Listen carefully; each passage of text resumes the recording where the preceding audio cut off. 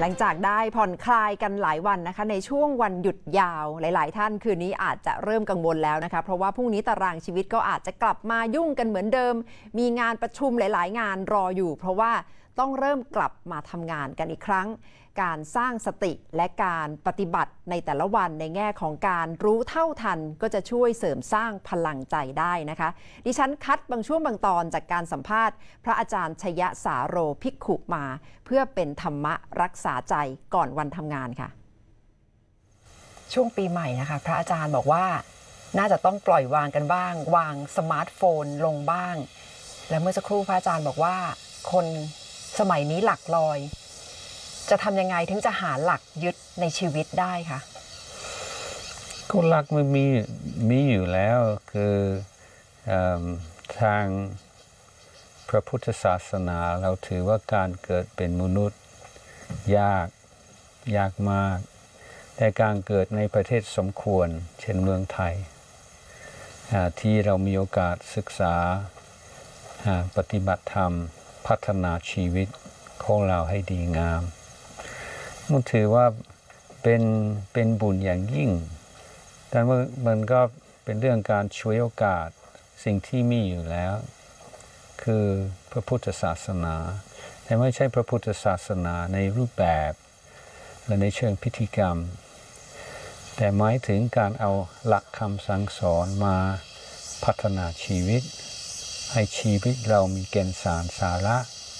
ให้เรารู้สึกว่าชีวิตนี่น่าภูมิใจ ชีวิตของเรา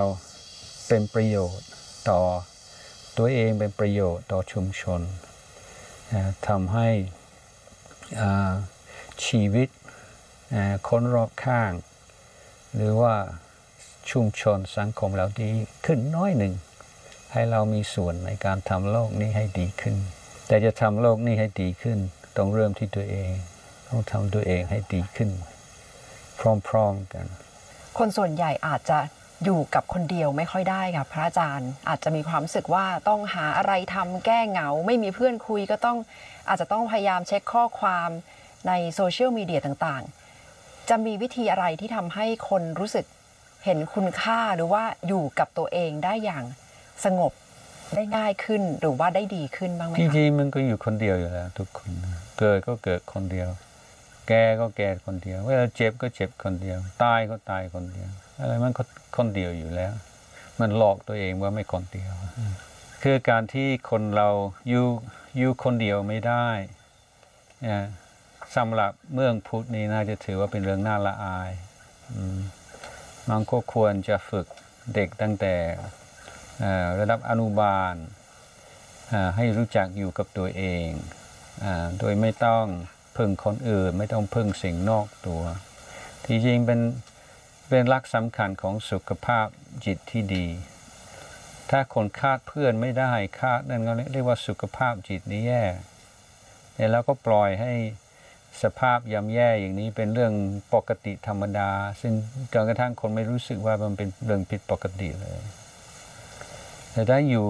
อยู่คนเดียวเป็นเนี่ยมันมีความสุขไปไปที่ไหนไม่ต้องเป็นห่วงว่าโอ้ไม่มีเพื่อนไม่มีอะไรฮะมันพร้อมที่จะมีความสุขอยู่ตลอดเวลา นั่นถ้าต้องคนเราต้องการความสุขก็ก็น่าจะหาความสุขที่ที่มีเงินไขน้อยที่สุด ถ้าถ้าอยู่กับคนเดียวอยู่คนเดียวได้แล้วเราเรียกว่าพร้อมที่จะเป็นสุข ได้ความสุขได้ง่าย